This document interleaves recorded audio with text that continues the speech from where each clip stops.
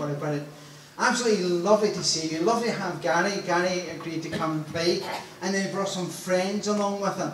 And so tonight's going to be a great treat for us. And, and one of the friends he brought, when he walked through the door, I thought, I haven't seen that man for years. Richard here. Richard and I used to be really good friends. Not that we fell out, but. Uh,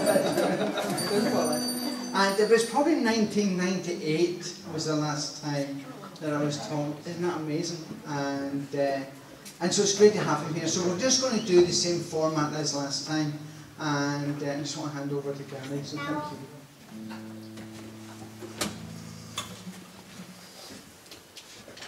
Good evening. Um, my name is Gary, and that is Richard. This is Kevin and Simon. And uh,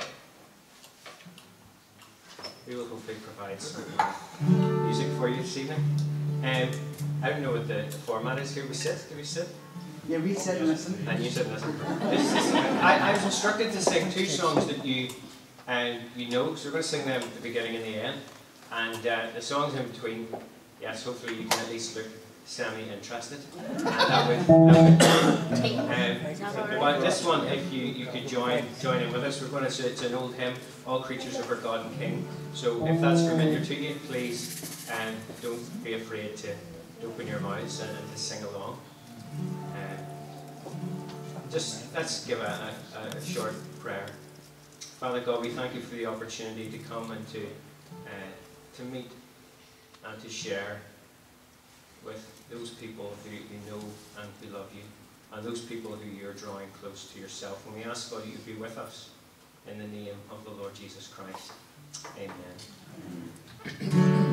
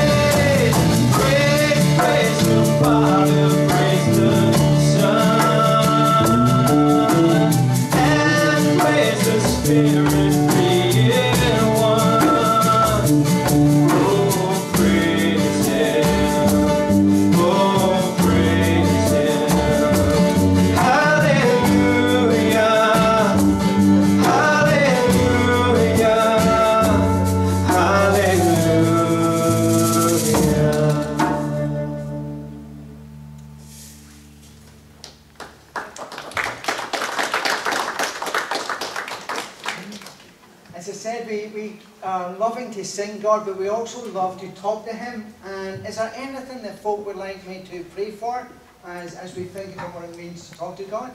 Is there anything that folk would like prayer for? Just Mita. We won't people pray for Mita. Mita's unwell at the minute, and Mita's in hospital. Anything else? I was talking to Mita's sister-in-law and she was telling me she'd been today for all her scans. Right, Mita had been. Mhm. Okay. So that's just the latest bit Okay, good, thank you. Okay, let, let's all pray together. Father, we thank you for who you are. We thank you that you are the Lord and King. You're the Lord of all creation because you made everything that we can see and everything that we can touch and even the things that we cannot see. That you have made all things. And not only have you made everything, but you sustain everything. And that's why we can honestly say that you are Lord. Because you're the creator of all that we see and sustain everything that is around us. But you're also King. Because you rule over this world. Because not only have you made us, not only do you sustain us, but it's your decision that you send your son Jesus to come down to this earth to die on the cross so that you can indeed save us, so that we know what it is to have a relationship with you. So we sing that you are Lord, you are King, but you're also our Saviour and our friend. And so we ask you tonight that you'll be with Mita. We were really sorry to hear that she'd gone into hospital. Lord, we were concerned to hear that she may have TB. And we want to thank you for the tests that she's received today. And we pray that as those results come back, that the doctors will know exactly how best to treat her. But as we prayed this morning, we pray that your healing hand may touch her and may heal her. And that, Father, you may restore her to full health. Again, be with her and minister to her. Help her to recognize your presence with her as she's lying in that bed in that isolated ward. Remind her that you love her and you care for her. Remind her that you promise that you will never leave her nor forsake her. Lord, just minister to her, we ask. For we ask this in Jesus' name. Amen.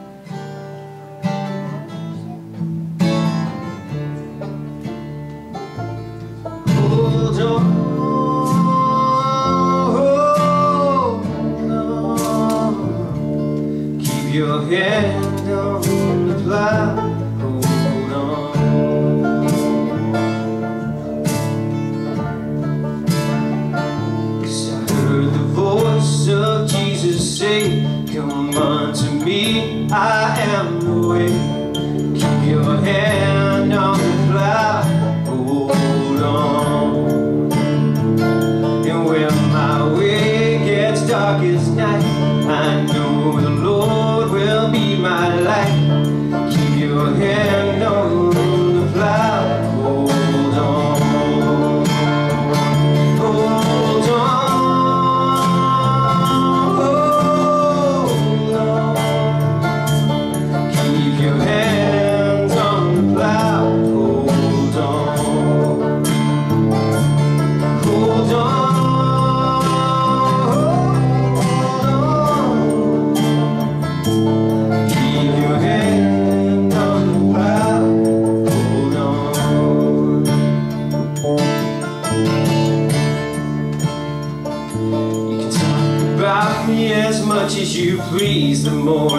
You I'm gonna stay on my knees. Keep your hand on the plow.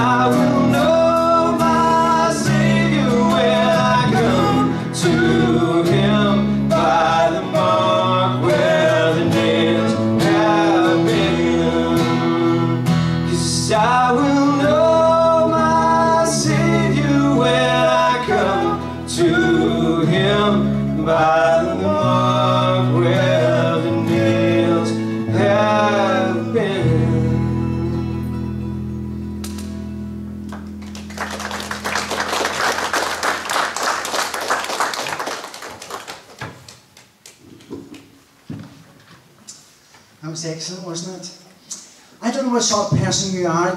There's two different types of folk in this world. There's the folk who organise their holidays, and there's folk who just wing it.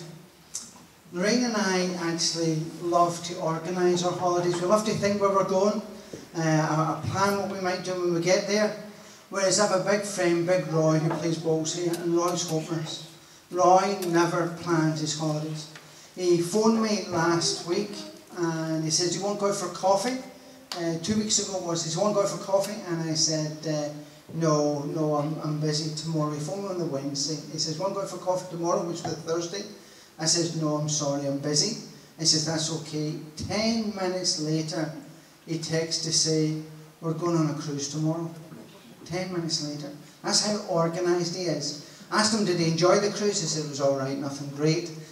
But people who don't organise their holiday, they can't complain whenever the weather's not right because they've gone the wrong time of year, or the food wasn't good because they don't like that local stuff, or, or the culture's not right. Whenever we were in Thailand, uh, this happened quite often. Uh, the wee Samlor driver or the wee um, rickshaw drivers would come to our house and they would have a foreigner sitting, a foreigner meaning a westerner, sitting in the back of the rickshaw.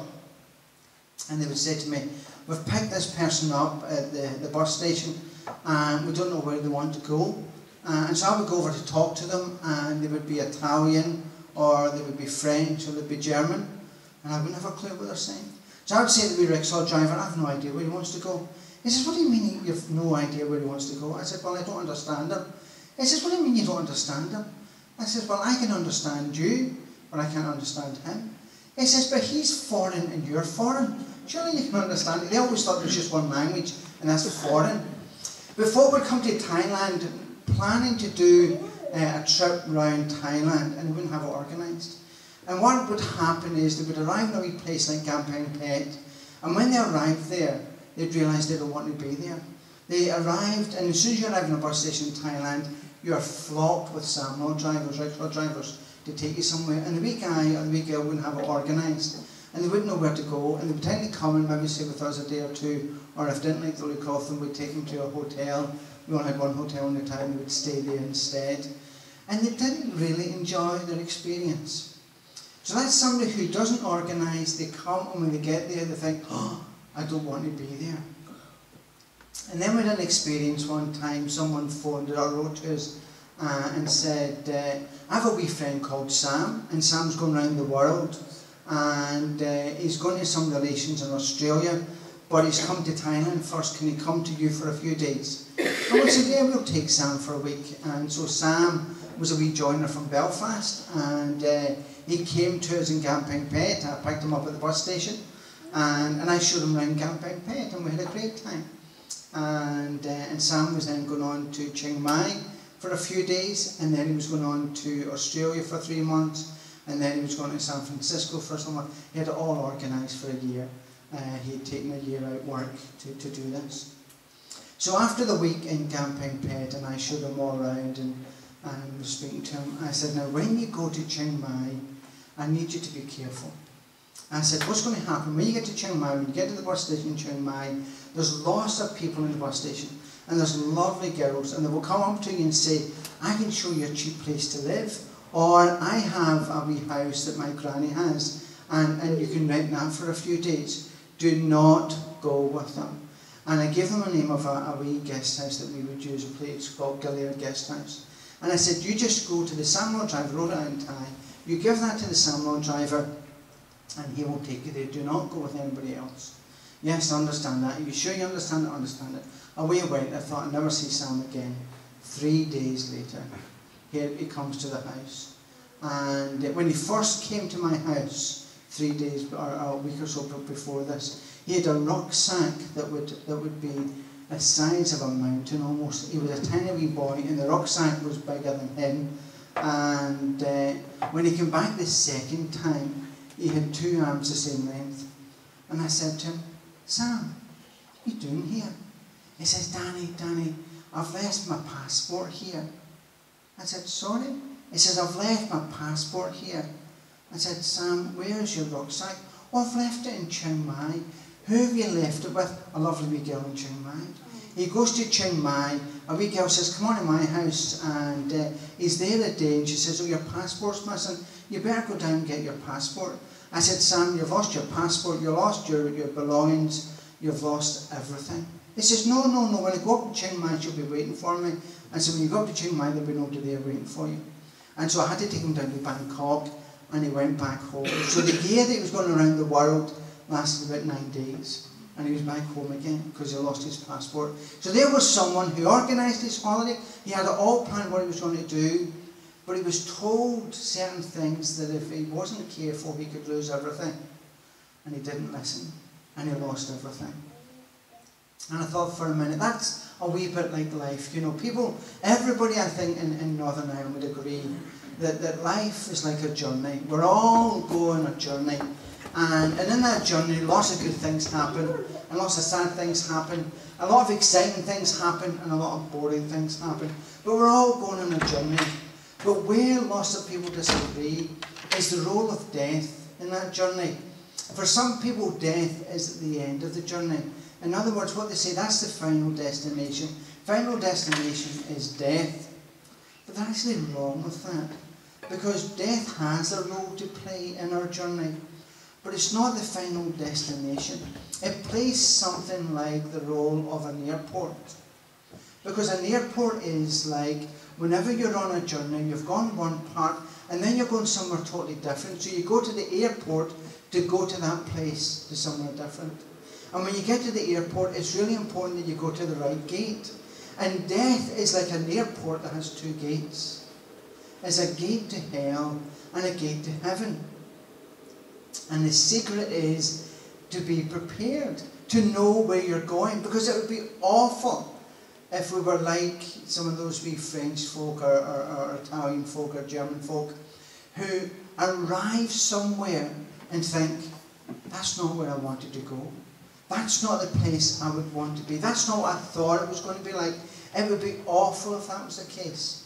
Or it would be awful if we were like Sam, we would say, well, we were told the way to get to heaven. We were told the best way to get there through trusting in Jesus, but decided to do it my own way. I decided to do the way that I think is easier. And although I was told this, that, and the next thing, I decided to do it my way, as Frank Sinatra would do. Both we Sam and those other wee folk in holiday were really disappointed with Thailand. It wasn't what they thought it was, and it was because they weren't organised. They hadn't thought what it was like. It would be terrible if we went to the airport of death and we recognised there was two gates and we actually hadn't planned and where we were going. Because the default in this airport is the default is always to where hell is. And that would be awful if by not planning anything that we found in that place where we really want to be.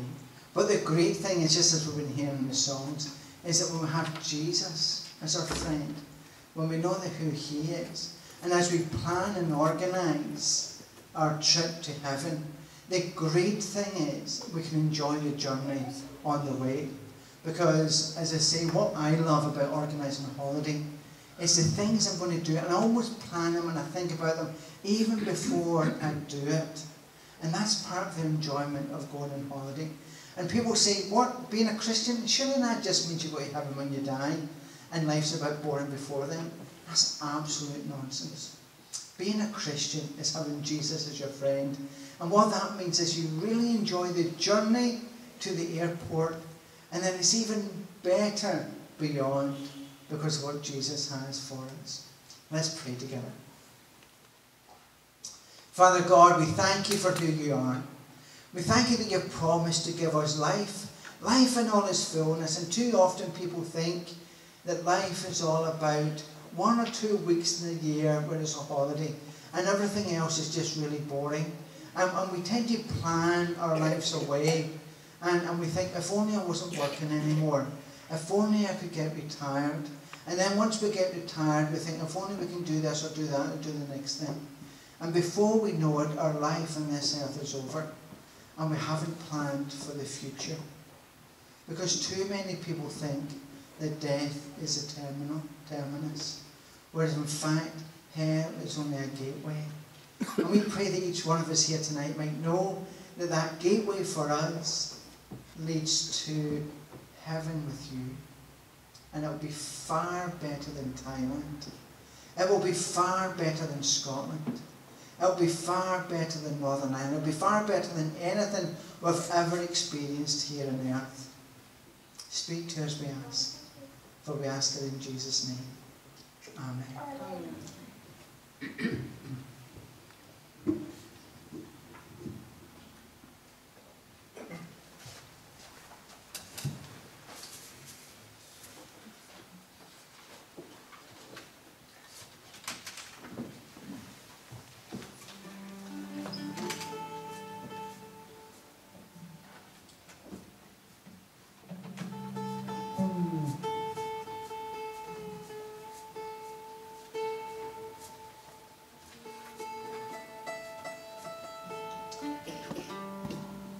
The, uh, the next song we're going to sing for you is um, it's quite an upbeat song, and so it should be. And it's talking about the fact that one day, if you know Jesus, you'll be able to go and spend eternity with Him in heaven. And so we all pretend that we were maybe in a cafe, and so it's okay to uh, to make some some noise. So if you fancy clapping, or stomping your feet, or responding in yes musical way, that would be good, or a non-musical way, and you can join in.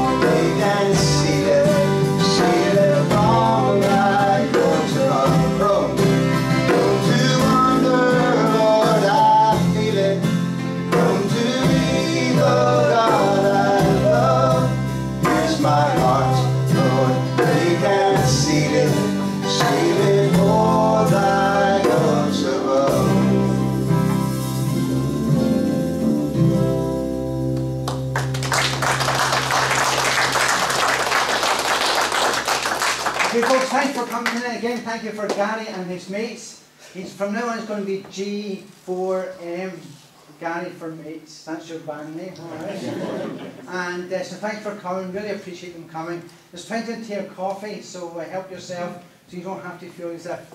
Come on now, Lila, you don't have to rush away. It's great to see you. Thank you very much.